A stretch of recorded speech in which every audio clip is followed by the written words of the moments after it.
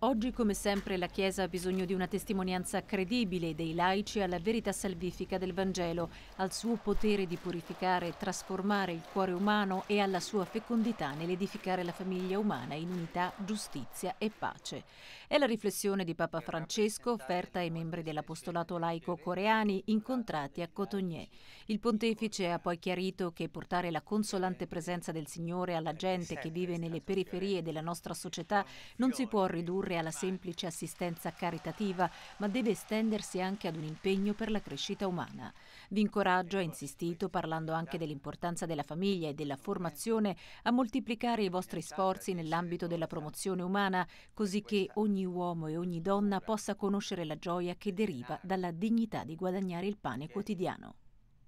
Lascia senza lavoro